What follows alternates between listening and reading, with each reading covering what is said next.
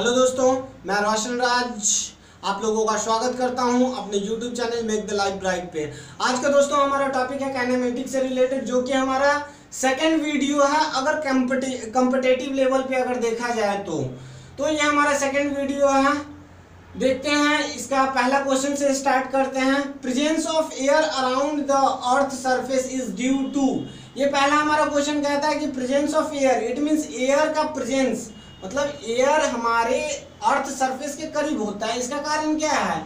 It is due to option है पहला gravitation second है विंड थर्ड है cloud and fourth is rotation of earth तो इसका करेक्ट आंसर हमारा होगा ग्रेविटेशन सेकेंड क्वेश्चन हम लोग देखते हैं propulsion of rocket is based on the law of मतलब प्रोपल्सन कहने का मतलब है रॉकेट जो ऊपर जाता है, वो किस लॉ पे बेसिस है? तो इसका पहला ऑप्शन है conservation of momentum second is conservation of sorry first option है conservation of mass second is conservation of momentum third is both and D is none of these तो इसका करेक्ट आंसर होगा conservation of momentum conservation of momentum का video दोस्तों, हमारे YouTube channel पे बहुत ही पहले अपलोड हो चुका है, उसको आप देख सकते हैं। और कंजर्वेशन ऑफ़ मोमेंटम के बारे में हल्का बता देना चाहते हैं। Momentum is equal to M होता है।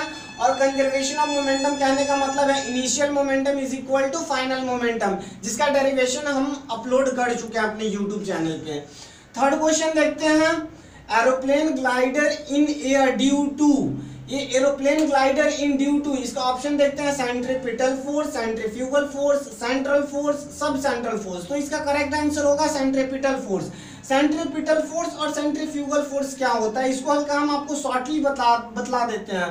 सेंट्रीफ्यूटल फोर्स अगर कोई भी मास ऑब्जेक्ट सर्कुलर मोशन में मूव करता है तो उसको अंदर की ओर जो फोर्स लगता है, उस बॉडी पे अंदर की ओर जो फोर्स लगता है, उसको सेंट्रीपिटल फोर्स कहते हैं और बाहर की ओर जो फोर्स लगता है, उसको हम सेंट्रीफ्यूगल फोर्स कहते हैं। तो इसका आंसर होगा हमारा सेंट्रीपिटल फोर्स उसके बाद फोर्थ नंबर देखते हैं।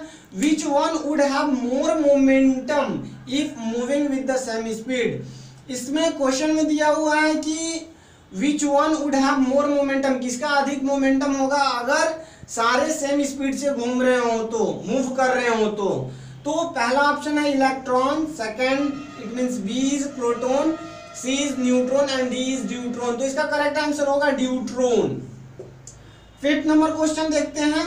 A body move by equal distance in equal interval of time which is uniform मतलब equal distance equal interval of time में अगर ट्रैवल करता है तो और यहाँ पे विच इज़ यूनिफॉर्म दिया हुआ है तो जैसे देखते हैं वेलोसिटी के बारे में अगर देखते हैं तो velocity is equal to displacement per unit time but यहाँ जो है speed speed is equal to distance per unit time होता है. तो equal distance in equal interval of time तो ये हमारा करेक्ट ऑप्शन होगा.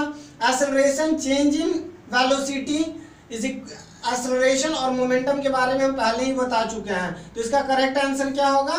स्पीड चलिए हम लोग सिक्स नंबर क्वेश्चन देखते हैं, जो कि हमारा न्यूटन फ़र्स्ट लॉ यहाँ पे दिया हुआ है Newton first law is a proposition of मतलब न्यूटन फ़र्स्ट लॉ जो है वो किस चीज़ पे बेसिस है? तो इसका ऑप्शन देखते हैं एनर्जी बी है वर्क सी है मोमेंटम और डी है इनर्सिया हम लोग ये तो जानते होंगे कि फ़र्स्ट लॉ जो है वो एनर्जी वर्क से रिलेशन इसका नहीं है। अगर मोमेंटम की बात करते हैं तो ये भी हमारा सेकेंड लॉ में है। तो ये डी नंबर जो है इनर्सिया तो इनर्सिया हमारा राइट आंसर होगा। यहाँ पे आप समझ सकते हैं मोमेंटम जो है सेकंड में हम लोग पढ़ते हैं सेकंड लॉ ऑफ़ मोशन में तो फोर्थ हमारा सही आंसर होगा। सेवेंथ नंबर क्वेश्चन में देखते हैं और rubber ball is dropped from a height of two metre यहाँ पे हाइट हमारा दिया हुआ it means two metre if there is no loss of energy, if there is no loss of energy and velocity, how high will it rise? यहीं पे आपका मतलब question का मेन जो है यहीं पे छिपा हुआ है। यहाँ पे दिया हुआ है no loss of energy and velocity मतलब एनर्जी का भी लॉस नहीं हो रहा और वेलोसिटी का भी लॉस नहीं हो रहा। तो अगर हाइट जितना जितने हाइट से उसको ड्रॉप किया गया उतना हाइट वो गेन करेगा। तो इसका राइट आंसर क्या होगा? C C is two metre eight number question देखते हैं स्वीडो फोर्सिज स्वीडो का मतलब हो, होता है झूठा। तो स्वीडो फोर्स इज़ झूठा बल। कौन सा है इसमें? तो centripetal force, centrifugal force, both one and two, nuclear force. ये हमारा चार ऑप्शन है। तो इसका करेक्ट आंसर होगा बोथ। ये centripetal and centrifugal. Ninth number question देखते हैं। Angular momentum is equal to. Angular momentum is equal to. Option देखते हैं। ए ए नंबर है, एम आर स्क्वायर। इसको लगभग लगता है कि इसको कहते हैं हम लोग moment of inertia, moment of inertia.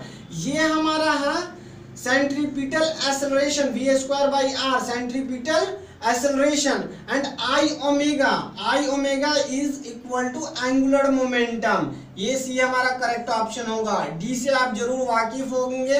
Momentum is equal to M V होता है। टेन नंबर क्वेश्चन देखते हैं। Wet clothes are dried in centrifugal dryer by wet cloth are dried in centrifugal dryer by यहाँ option देखते हैं centripetal force centrifugal force central force and D option is सब central force तो इसका correct answer होगा centrifugal force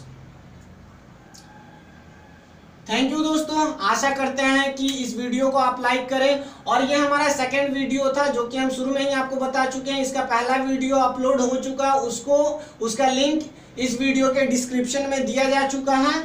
आप डिस्क्रि ये link के माध्यम से उस वीडियो को देख सकते हैं। Thank you